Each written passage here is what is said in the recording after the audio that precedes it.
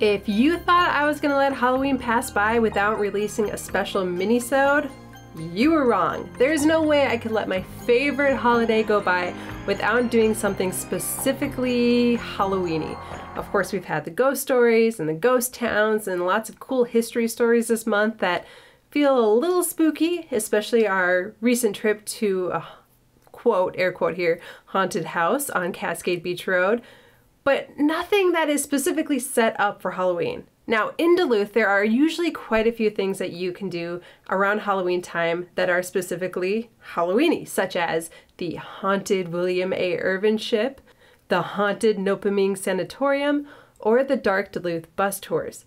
Unfortunately, this year, the William A. Irvin was in dry dock and not open for the haunted tours. It returned just a couple weeks ago. The Nopeming Sanatorium is also not open this year, and so they didn't have any tours going on. And while the Dark Duluth bus tours were going on, we unfortunately couldn't fit it into our recording schedule. So that left us with not doing anything Halloweeny.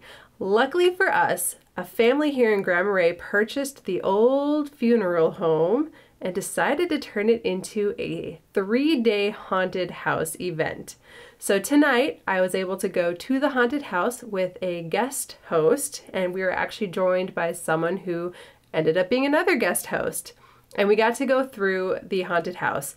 And I just have to say, it was incredibly, incredibly well done. So, to the Riddles, good job. You turned that funeral home into a very, very, very cool thing for this town to experience. So, if you happen to be in Grand Marais on Halloween Day today, you still have a chance to go to it. On today's tour, it is a family friendly tour, so it's a little less scary than what you're about to hear that we experienced. Um, the night before Halloween, which is right now, and as I'm recording this, is the 18 plus adult tour. So it was meant to be a little scarier than I think tomorrow's is going to be. Anyway, just one more quick thank you to the Riddles for doing this. You guys are awesome, and we had a lot of fun going through it. So now I'm going to cut to the recording of Matthew Baxley, Sarah Stover, and myself going through the old funeral home haunted house.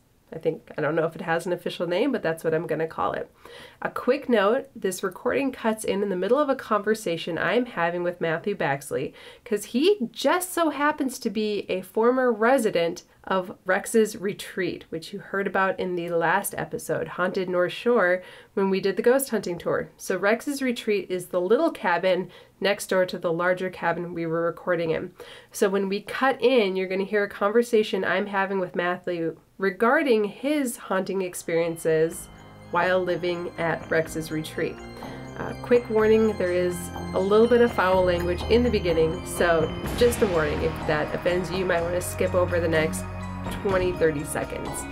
Anyway, enjoy, and um, I hope you appreciate Matthew squealing as much as I do.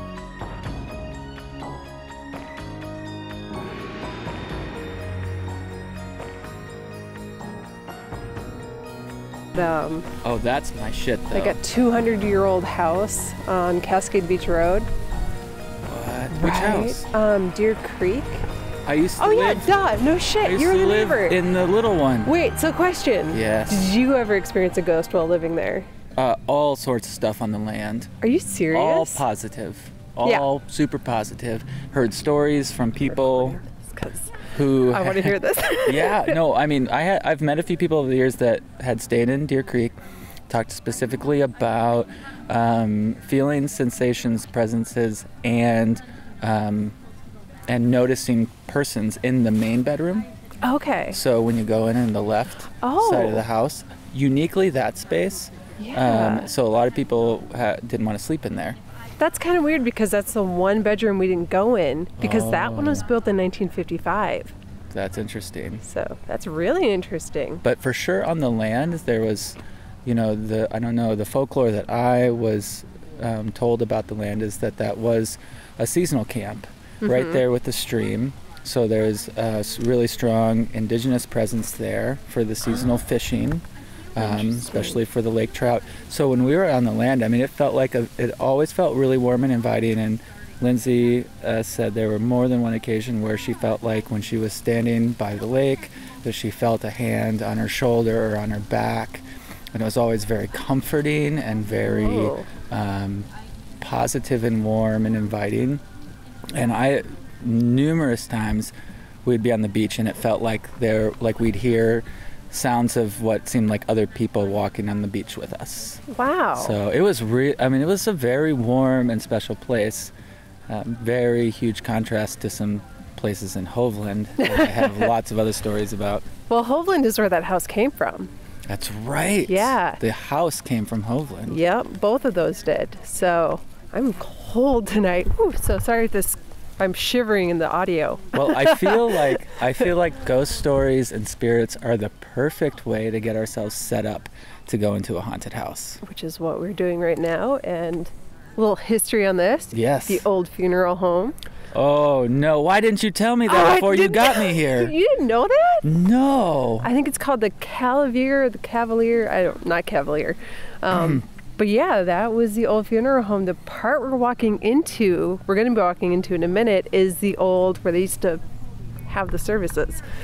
Oh boy. You know, I thought to myself, I don't like haunted houses. I'm gonna be scared to go with you, Jaye. But I also thought, what could be more quintessential Halloween? Yes. And now you're just throwing this legit funeral home stuff it's on top of it. legitimate funeral home. All right, so really quick, Yeah. say who you are. Uh, my name is Matthew Baxley. And you, I brought you on here today because Joe is not here. He claims he's in Chicago. Um, He's somewhere. I think he's just too afraid. Um, so- That would be consistent with my impression. Same reason why he skipped out on uh, the haunted, uh, not the haunted house, but the, well, the haunted area, I guess. The uh, Deer Creek ghost hunting. He was too afraid. He claimed he had to work, but Well, I it was a. Saturday. I know. I am more than honored to step in for this amazing experience with you, Jaye. And he suggested you because you are his co host on the Boundary Waters podcast. Indeed. So if you want to hear more of Joe and Matthew when Matthew's not terrified, Oh gosh. check out the Boundary Waters podcast. But now it's time, let's go. Scary stories. Now you're supposed to bring a canned good Oh. in order to enter, and I have a whole bag that I was going to bring tomorrow because tomorrow it's family friendly. Tonight Oh. it's adults only. Oh Um, no. So I forgot the bag, but I hope they forgive us so that we can go in. we'll see if they're feeling friendly. Hello! Hello. Hello, Sarah Stover. Hello. Jaye White. Can I go through with them? Huh? Can I go through with them? You want to go through with them? Well, we're recording the podcast, so. Oh, hello, hello. So podcasters. Matthew Baxley, Sarah Hi. Stover. You, Nice to meet you. We've met Oh, before. Yes, we have. Nice Okay, to I see was you gonna again. say, Indeed. I'd be shocked if you hadn't met yet. I'm very cold. It's freezing. It's, So is this like a wave? Are we waiting for our turn to go? we're waiting for them to get into place. Yes, wait for them Oh. to get into their positions. So I have a whole bag of canned food we're bringing tomorrow with the kids, and I forgot today because I was at work until we came here. I brought, I promise. Just, yeah. well, I brought a little bit. And Oh no, you brought. So little not bit, only not is the cause to be scared, it's also for something charitable. Okay, here we go. We are walking in. fun. What does it say? Enter if you dare. Enter if you dare. Oh, if you die. okay. Whoa. That was my some dark, Yeah, I don't. Oh, streamy. are you sure this is the way we're supposed to go? Yes, I'm sure. I, All right. Okay, it's Oh. it looks like a dead end here. There's a large There's a large- spider on the wall. Okay, there's I'm a lot. tangled in cobwebs. I'm being pushed ahead by Sarah. Oh, don't lose me. Oh, hey Matthew, you should turn around. I don't want to. I'm scared. Oh, oh God. There's somebody following me. Okay, we're carrying on now. There's a. I have to hold my hands so I don't swing at anybody.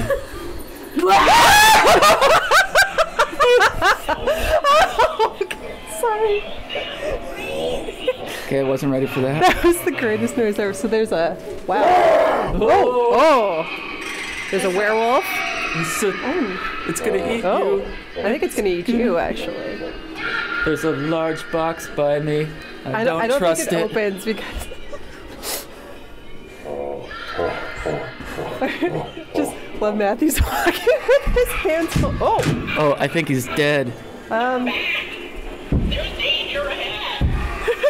Oh my You're still being followed. I, I That's can't look behind part. myself. Oh, okay. We're inside now. Um. Ah! Oh, What's funny is that's the person that got you a few minutes two ago. times. This way? Very scary individual with a mask that is haunting me, It's not- and dead things in boxes, evil elixirs on the walls, thumping sounds vibrating through the floor. Okay, this place is huge. I think there are really dead people in here. It was Well, this the person old, uh, definitely looks dead. It's the old funeral home. That's Definitely dead.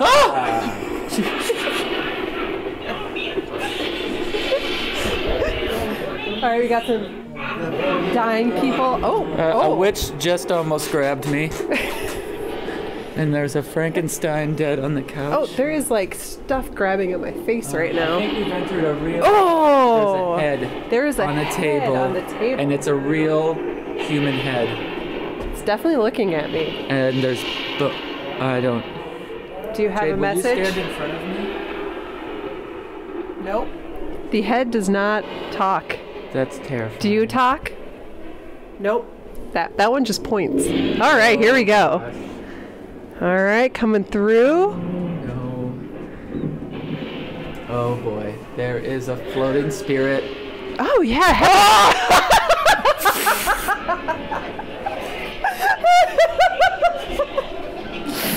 oh god. You take pleasure in my fear. I do actually. This is fantastic. It is. Uh-oh. Okay, there are spirits behind the wall. Oh my god, the werewolf's back. Step right there. We're going downstairs, and I almost just fell down. That's a liability.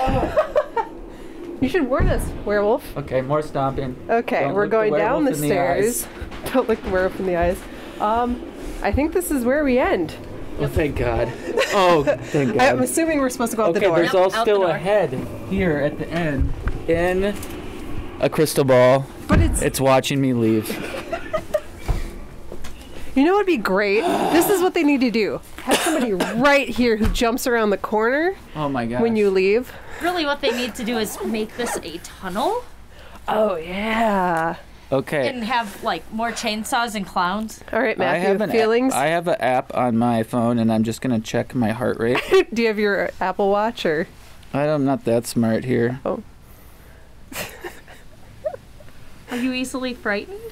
Uh, Apparently uh, not so. of the wilderness or of wolves or of high cliffs, but of haunted houses Cliffs and will demons do and spirits. Cliffs are terrifying. It's not even so much that they're terrifying. I just get really. You're okay. I'm all right. Are you? Are you? Do we need to take to the emergency room? Nope, Is there I'm some all right. cardiac arrest happening? That was that. That was good. Ah, legitimate Yes. haunted house. I'm very impressed. I think Grand Awesome. Marais showed up today. Uh, yeah, and considering that Duluth doesn't have the haunted ship this year. No. No, because it just came back.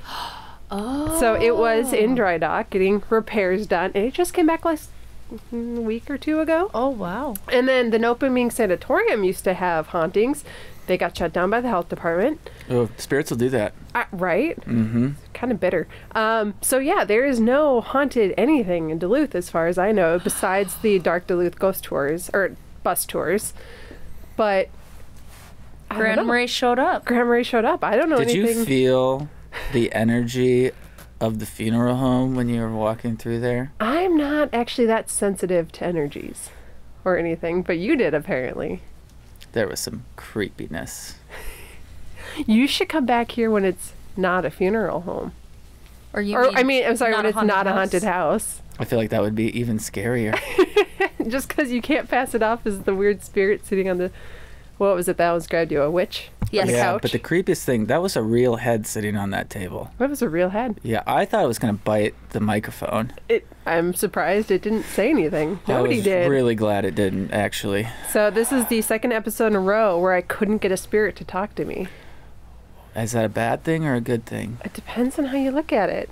I was kind of hoping. I was trying not to look it in the eye.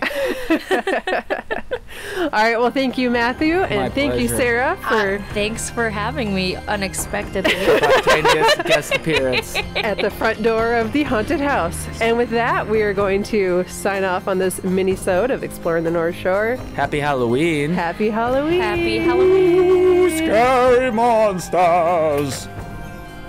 I don't know where the stop button is.